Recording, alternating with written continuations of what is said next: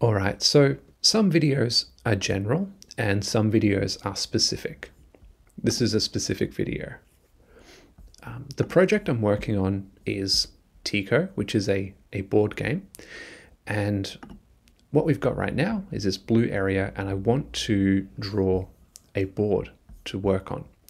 So no worries, we can do that. We'll just head over to the board view file and in here I'm going to start drawing the board. So the first thing I'll do is reset the draw color of the canvas to black.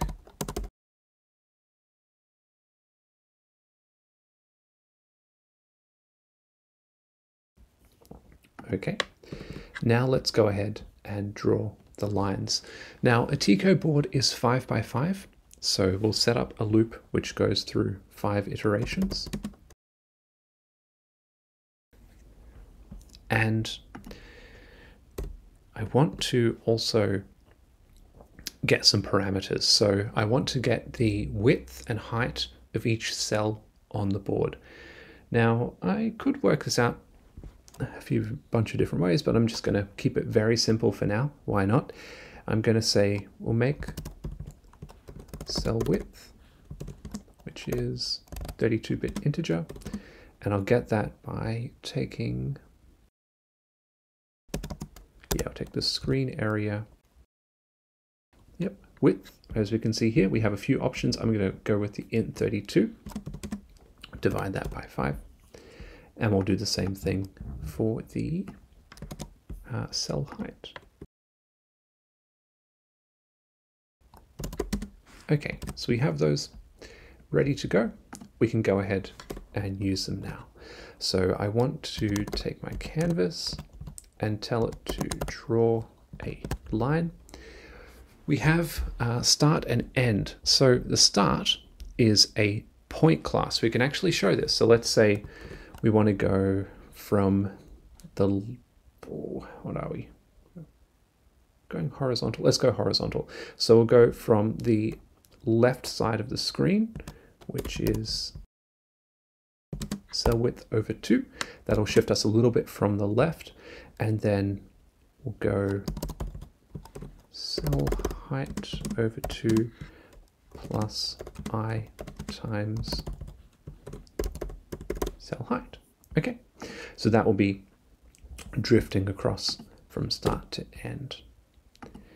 Then I can take that again and declare that for the, the end parameter. I just want it to be all the way on the right. So I'll go um, self screen area width minus that, but otherwise at the same height. And we'll just go save this and it will give us some errors. Just hover over these. It says, uh, no. Well, that's not right.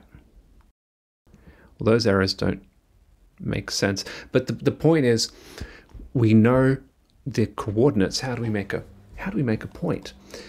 Turns out we just need to go to um, this line up above and use SDL2 rect point. Okay. So then I want to make a new point for these. So no problem. I'll just go point new. And yeah, okay, cool. Cool. And just to emphasize that, I'll just get rid of that as I had it before. Give me an error. Well, you should be giving me, giving me an error. Anyway. Okay, so we'll do the same thing as before. We will unwrap that. Again, not strictly necessary, it works without it, but I don't like yellow yellow warning text. So we'll just go with that. So we'll just give that a go, check that it's working. Hmm. One, two, three, four. Something's off. Okay. Okay. What do we have? Oh yeah, we should be changing this. Taking the width and the height separately. Okay. That's my bad. That's on me. Okay. Oh, yeah. Nice. Perfect. Nice and even. Those are our horizontal lines. Okay. So fair enough. Now we can just run this again to make the vertical lines. And let me see. So I want now for my x to be incrementing. So I'll add i times cell width and the same x coordinate for both.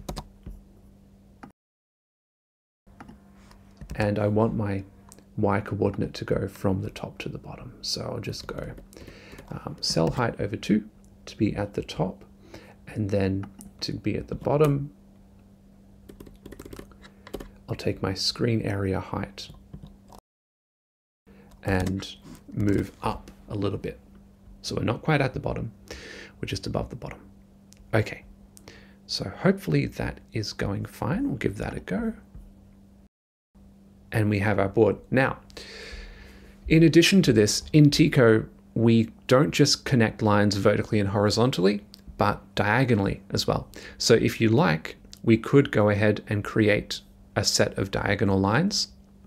Now, that's not particularly tricky, it's just fiddly. There's a lot of details. So I'm not going to demonstrate that here, but if you go and look in the GitHub repo for this, the, the final code will include those diagonal lines. Anyway, so um, that's it for now. We've got our board displayed, and uh, I guess we'll see where we go from there. All right, see ya.